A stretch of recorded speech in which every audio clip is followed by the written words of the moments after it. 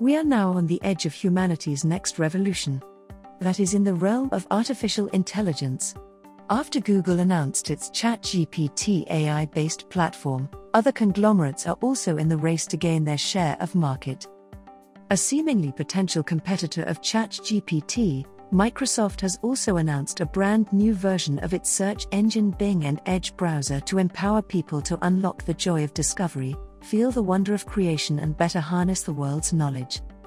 Special feature of Bing is that it has brought together search, browsing, and chat into one unified experience you can invoke from anywhere on the web, delivering better search, complete answers, and a creative spark.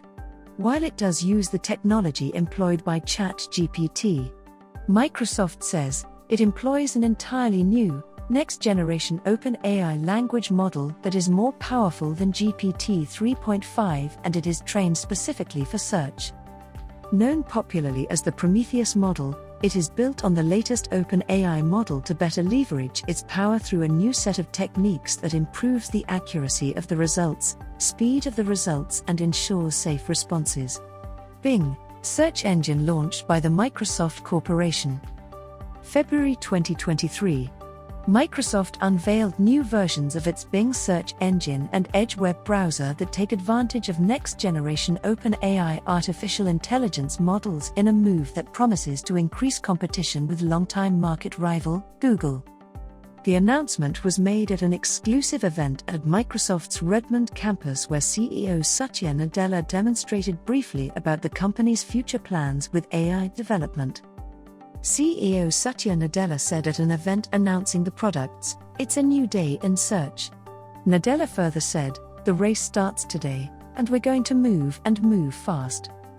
Robin Sayer, an IT expert, said that, it is inappropriate to tag any search engine as the best. They are all different and have different strengths and weaknesses. The particular strength of the Bing search engine is how it is integrated into your personal and work documents. If your company uses Office 365, which can cost as little as $6 per user per month, then from Bing you can search your entire company's corporate information. According to Global Desktop Market Share of Search Engines 2015 to 2022, as of December 2022, online search engine Bing accounted for nearly 9% of the global search market, while market leader Google had a share of around 84.08%. Meanwhile, Yahoo's market share remained 2.55%. 126 million unique American users performed 6 billion searches on the Bing network in March 2019 only, according to ComScore data. Today, Bing controls 36% of the US desktop search market. Pertinent features of Microsoft Edge and Bing more modern, lightweight, and reduced resource consumption. Support for inking or the ability to write on a web page Support for Firefox and Chrome add ons. Faster page rendering. Integration with Cortana. Automatic form fill, or autofill. Private browsing. More security features. More effective social extensions. Bing ads have less expensive CPCS. Bing ads allow for campaigns in different time zones. Bing ads allow to drill down using search demographics. Bing ads provide more control over search partner targeting.